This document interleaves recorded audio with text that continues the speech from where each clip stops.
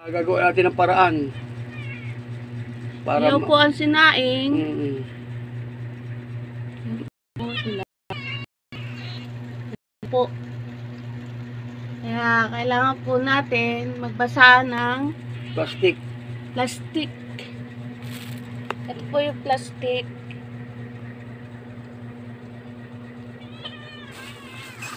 Ito po yung plastic po. Kailangan po natin basahin yung plastic.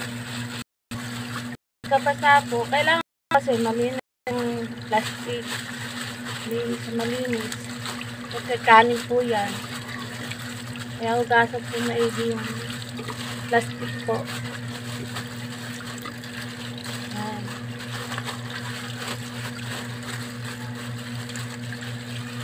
Pagkahugas po nito, saka po natin ilalagay sa kanin. Ganyan po siya. Kailangan po siyang sakupin lahat. Wala sisingaw.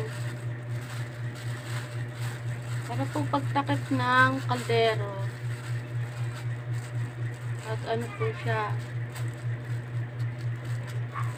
Haluto na po siya.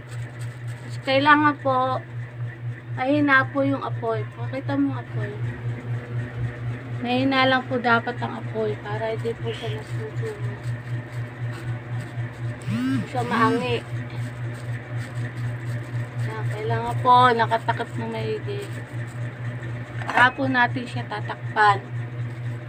Mga 5 minutes po, tsaka po natin malalaman kung luto na yung sinain.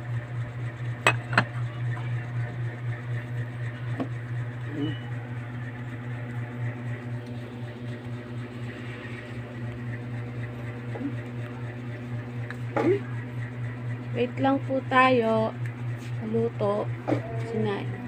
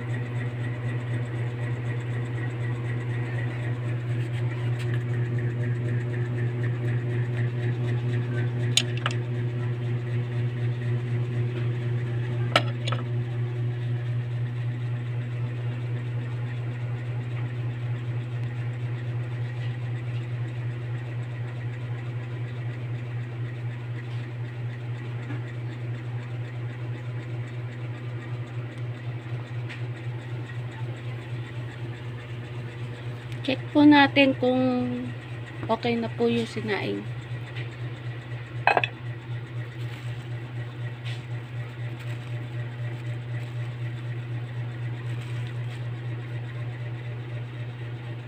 Ano po, medyo okay na po yung sinaing pero parang medyo hilaw pa. Kaya, ito pang paghihintay.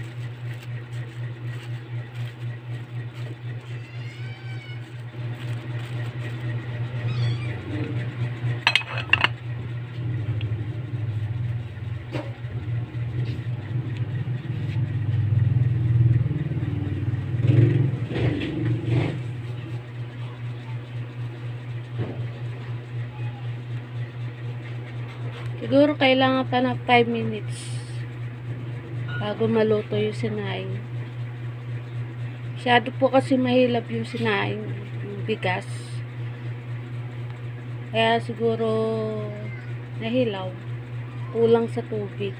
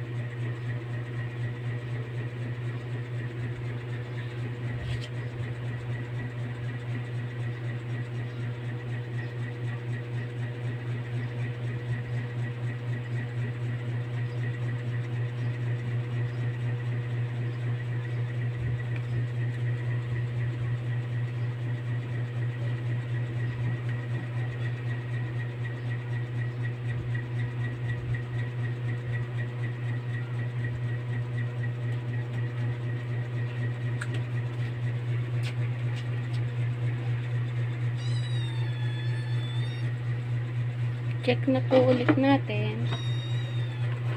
Natin yung puno. O yan. Medyo nag-iiba na yung kanin. O, wala na yung mga maliligat na kanin. Medyo hilaw pa oh. Pero may pagbabago na po siya. Kaya malapit na maluto. Maangat na yung kanin.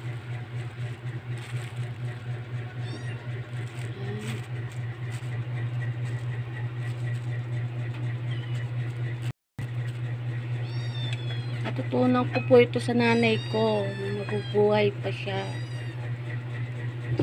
Kasi may tindahan kami dati nung araw ng restaurant. Sabungan po yun. Maliit pa lang po ako nakikita ko na pong ginagawa ng nanay ko yan.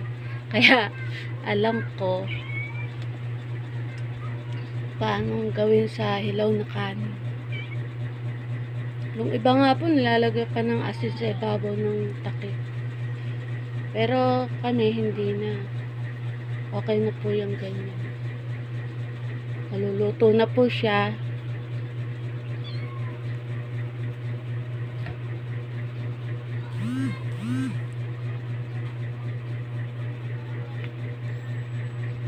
Kaya ayos lang po kung plastic lang gamit. Pwede din po yung ano, yung basyang malinis.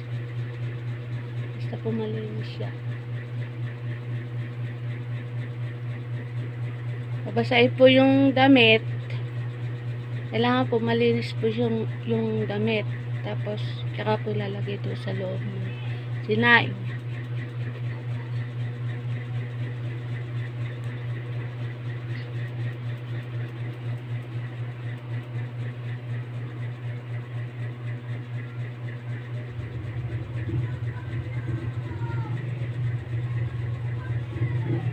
Pwede yung ano, yung bimpo po.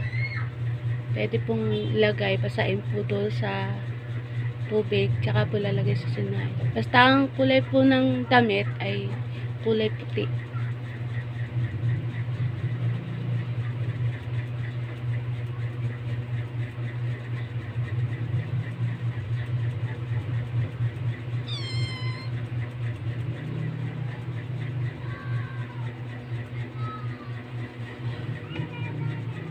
Check na po ulit natin ang sinaing. Luto na.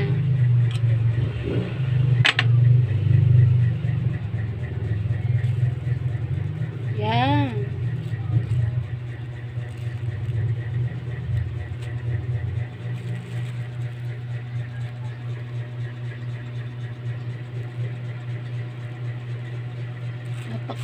Masyado ng sinaing.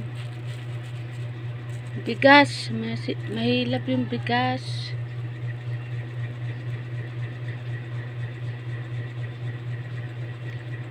Galing lang po ito sa ayuda. Bigay lang po sa akin.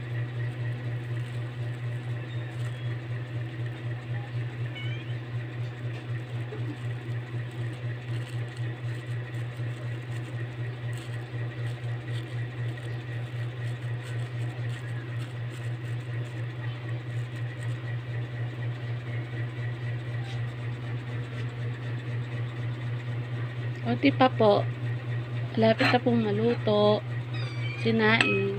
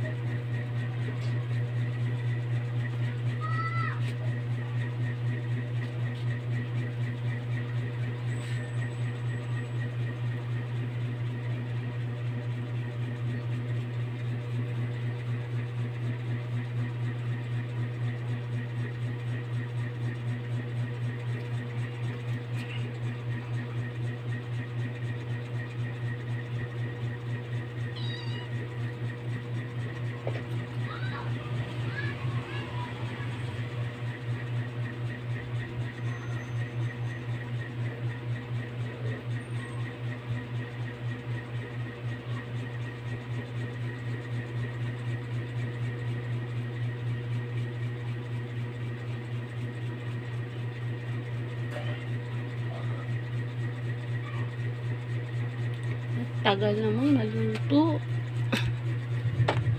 Check uli natin. Tingnan po natin kung luto na ang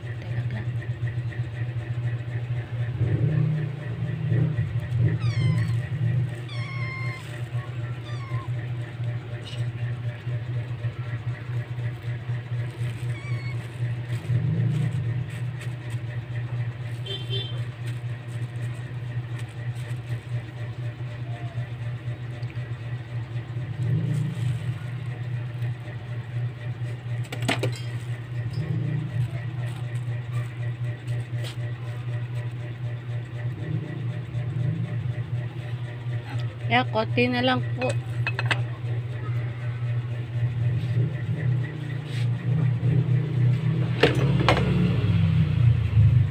Luluto na po yung sinaing na, namin. Kaya konti na lang.